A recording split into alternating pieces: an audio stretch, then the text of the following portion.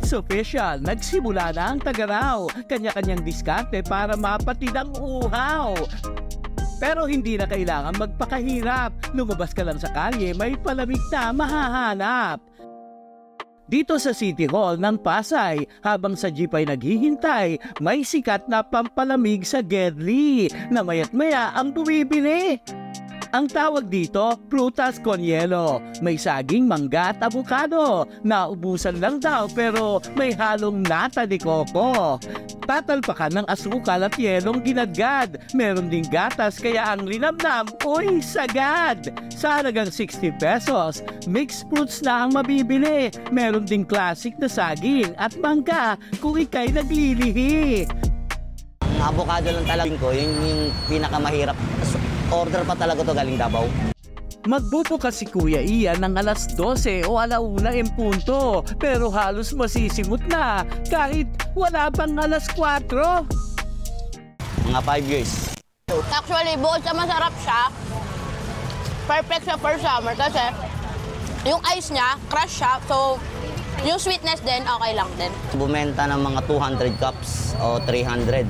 300 cups, ganun. Ah, nagdedepende po sa ano pulso. Bumabase na lang ako sa benta. Kung pampalamig na may extra sipa ng pampagising, kaping may yelo ang una nating hahanapin. Dito sa may dapitan, meron kaming natagpuan. Coffee na halo-halo ang kanilang palaban. Ito ay pinangalanan nilang Coffee Mass, Coffee at Christmas, ang feels ng panghimagas. Kasi yung coffee mask ay ang kombinasyon ng coffee at Christmas. So yung energy ng kape at yung good vibes ng Pasko. Maaalala niyo talaga ang sweetness ng pagsalo-salo with your family and friends. Ang nagpasinuno nga, ito si Giancarlo, pati si Chef Henry na kanyang tito. Sa halagang 119 pesos, coffee mass ang matitikman mo, plus 19 pesos kung may ice cream sa ibabaw, ang trip mo.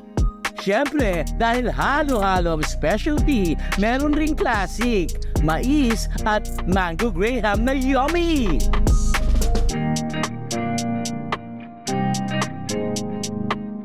Buy coffee mask dahil sa aming unique combination of hotel-grade ingredients.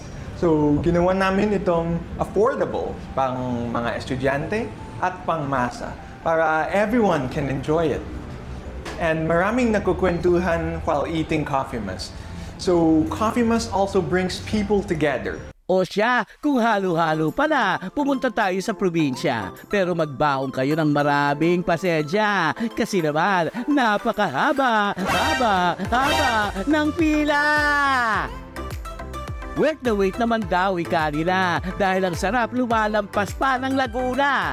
Kung naiinis kang puro yelo ang halo-halo mo, dito, kokonting yelo lang ang ibibigay sa'yo dahil sangkater ba ang kanilang sahog. Ang baso mo, siguradong hindi aalog-alog. 119 pesos lang ang special halo-halo nila. Homemade custard milk pa ang pampalasa. Kung ikaw naman ay may craving sa ube, ube overload at makapuno ang para sa iyo, be. Kung matamis na, mas pinatamis pa ang bet mo, che. Bumili ka nitong crema de leche.